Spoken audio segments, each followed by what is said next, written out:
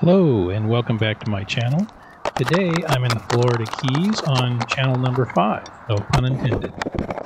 So in this video you will see I'm dropping my camera down off the span and the tide is really coming through here. So initially I'm up against one of the bridge pylons and you'll see some snapper and some other fish up and through there but I kind of get pushed out into the center of the where the, the water comes through on the span because these uh, this bridge actually forces the water into these archways. So in this video though I get pushed out into the middle of the archway off the bridge and you will see some you know some fish swimming around out there. There's not a whole lot of fish but there are some. But later on in the video you'll see two tarpon that come kind of through the screen there patrolling through so they're kind of interesting. So the Keys is a wonderful place to actually shoot video. The water's crystal clear, and if you go out in the middle of the day, you get really good light, so it makes really good video.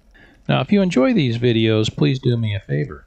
Can click the like button down below, and if you'd like to see more, please click the subscribe button. That'll help my channel out a lot. Enjoy the video.